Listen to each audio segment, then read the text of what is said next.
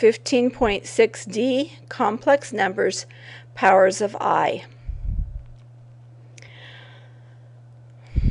i to the 0 is going to be 1 because anything raised to the 0 power is 1. Recall that if we had 64 to the 0 power, it equals 1.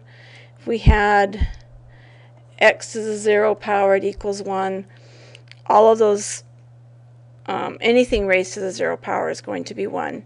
So the first answer should make sense in that case. i, if you recall, is equal to, or i to the 1 power, or anything to the 1 power is going to be just that number, or letter in, in this case. i squared, well, if you recall what i is, i is the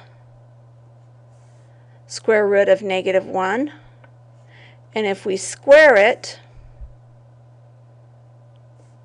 when we square a um, square root, we get what, just what's inside, so it equals negative 1.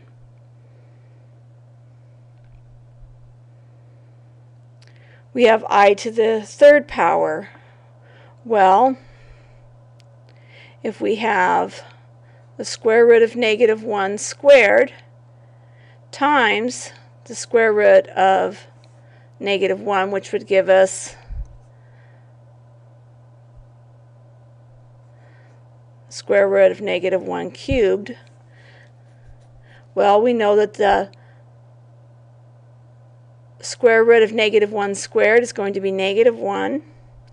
The square root of negative 1 is i, so that means that this is going to be a negative i because we have negative 1. Let's write this out a little bit better here for you. This is negative 1 times square root of negative 1 is i. So we get negative i. Whenever we want to use higher powers or when we run into higher powers of i, there's a really simple method to um, simplify that. We take and divide the exponent by 4. Notice over here that we have four different i's. And then we use the remainder to determine what it equals. I'm going to be using a calculator to show you how to do this. So we are going to look at the exponent, which is 223. We're going to take 223 and we're going to divide it by 4. And we're going to get 55.75. Now, here's one of those uh, things they don't always teach you in school. There, whenever we divide by 4, there are only four possible decimals. We can get point 0, we can get point 0.25,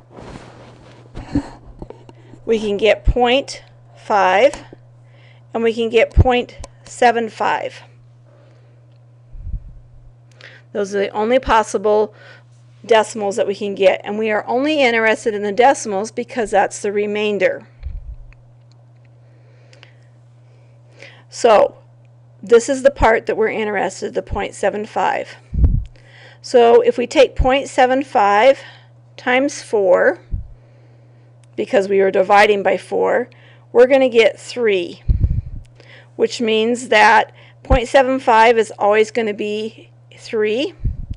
If we took 0.5 times 4, we would get 2. So this is always going to be an exponent of 2. If we put 0.25 times 4, we're going to get 1. So 0.25 is always going to be the exponent of 1. And obviously 0 times 4 is going to give us a 0. So it will always be 0. So because we're only interested in this for, for this particular problem, the 0.75, which gave us our 3, our remainder in this case is 3. So what we get is i to the third power. And if you go back up and look at your chart, you'll notice that this is equal to negative i. And we have simplified this exponent of i's, or this power of i. Let's look at example 2. Again, we're going to take our 96, we're going to divide it by 4, and we're going to get 24. Notice that our decimal is 0, which means that our remainder is 0. So we have